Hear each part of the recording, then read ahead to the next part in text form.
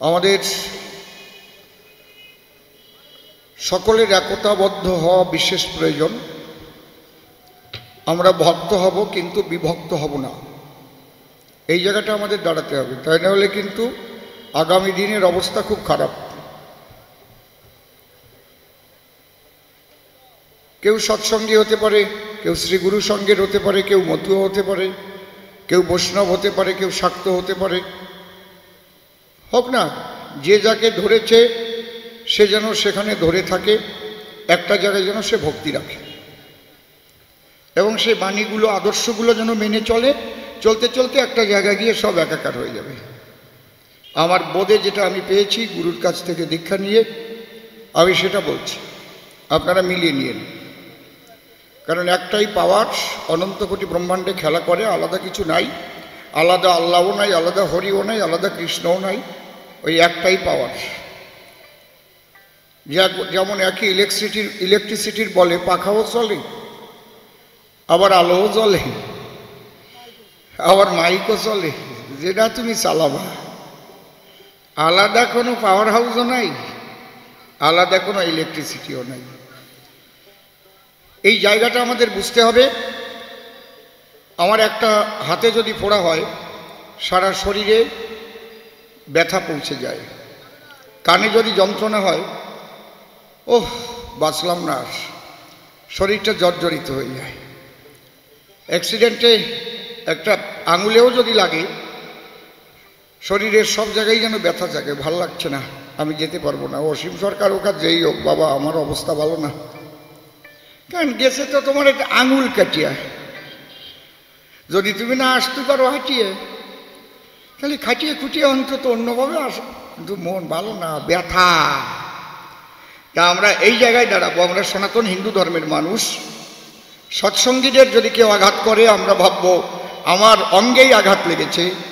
মতুয়াদের যদি কেউ আঘাত করে, আমরা ভাববো, আমার দেহেই আঘাত লেগেছে। কোনো বৈষ্ণবকে যদি কেউ আঘাত করে, আমরা ভাববো, আমার দেহেই লেগেছে। সমস্ত কিছু নিয়ে আমার পরিপূর্ণ একটা দেহ।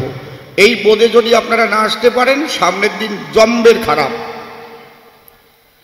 কারণ ঠাকুরের ভক্ত যদি না থাকে, তাহলে ঠাকুর মন্দিরও একটাও থাকবে না কিন্তু বলে দিয়ে গেলাম। এই জন্যে ভক্ত সবাই এক হবেন, রক্ত গরম করে লাভ নাই। বিভক্ত করার পদ্ধতি সবাই ছেড়ে দিন। আর ভারতবর্ষের সবচাইতে ক্ষতি করেছে হচ্ছে ব্রাহ্মণ্যবাদ। এই ব্রাহ্মণ্যবাদে মানুষকে ভাগাভাগি করে করে করে করে অচ্ছুত করে রেখে রেখে মানুষকে দূরে রেখেছে। সেই বোধটাও ছেড়ে দিয়ে সবাইকে আপন করে কাছে টেনে নেবার মানসিকতা তৈরি করেন যদি হিন্দু ধর্ম বাঁচাতে চান। আমার পরিষ্কার কথা। কার ভালো লাগল, কার মন্দ লাগল, আমি তা জানি না, আমি যেটা পারফেক্ট কথা সেটা বলে যাচ্ছি। ব্রাহ্মণ আমাদের সবার উপরে, এটা আমরা মানি। কারণ ব্রহ্মজ্ঞান যিনি লাভ করেছেন, তিনি ব্রাহ্মণ। সমদম তপসৌচ খান্তিরাজ্যবম এমচ জ্ঞান অভিজ্ঞান অভিজ্ঞানমাস্তিকং ব্রহ্মকার্য সববজম এই নয়টা গুণের অধিকারী যিনি হবেন, সে মুচির ছেলে হতে পারে, সে মেথরের ছেলেও হতে পারে, লেখা আছে আমাদের শাস্ত্রের ভিতরে।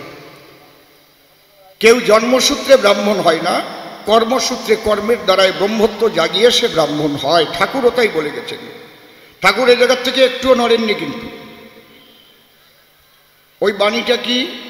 ব্রাহ্মণ হলে বাণীটা একটু আপনারা একটু বলুন। না না না না না, কদাচারী। হ্যাঁ শ্রদ্ধা শিল শিল হারা, তার হাতের অন্ন পানিয়ে বয় বিষের ধারা। তাহলে ঠাকুর তো এর বাইরে বলেননি। ব্রাহ্মণ হলে কদাচারী। দেখেছেন? শ্রদ্ধা শ্রদ্ধাশীল হারা, তার হাতের অন্ন পানিয়ে, তার হাতের ভাতও খাওয়া যাবে না, জলও খাওয়া যাবে না, ওটা বিষ সমতুল্য। তাহলে ঠাকুরকে যদি আমরা ধরে থাকি, ঠাকুরের কথা দিতে হবে মূল্য।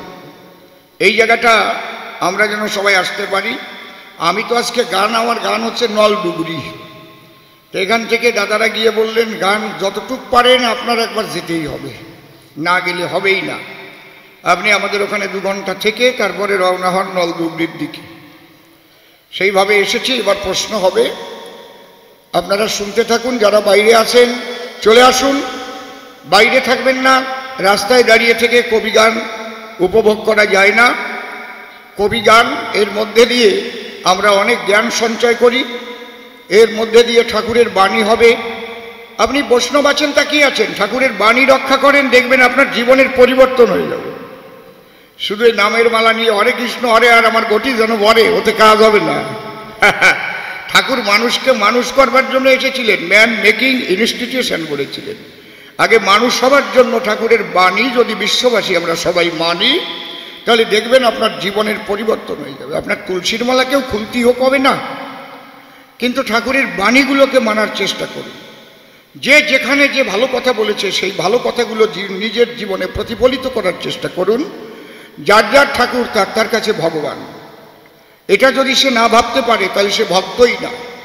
কারণ আমাদের গীতার মধ্যে গুরু গীতায় লেখা আছে, গুরু ব্রহ্মা, গুরু বিষ্ণু, গুরু দেব, মহেশ্বর, গুরু রেব, পরম ব্রহ্ম, তস্মৈ শ্রী গুরবে নব নব গুরুকে যদি আপনি ব্রহ্মা, বিষ্ণু, মহেশ্বর জ্ঞান করতে না পারেন, সেই গুরু সদ্গুরু নট ওই অসদ্গুরু, যারাই শুধু মানুষকে হিংসা করে আর মানুষের টাকা নিয়ে পকেট ভরে, তাতে কিন্তু হবে না সদ্গুরু, এই জন্য ঠাকুর সদ্গুরুর কথা বলেছে। হরিবল খারাপ কথা বললাম না তো নাকি? আমি যে কয়টা কথা বললাম, আপনাদের খারাপ লাগল নাকি কারও? আর খারাপ লাগলে আমার কিছু করার নাই, অবস্থা খুব খারাপ। সারা ভারত, সারা বাংলার অবস্থা যা দেখছি, তাতে অবস্থা খুব খারাপ। এখন আমাদের একতাবদ্ধ হওয়ার দরকারই দরকার। তাই নাহলে কিন্তু সার খার একদম। হরিবল হরিবল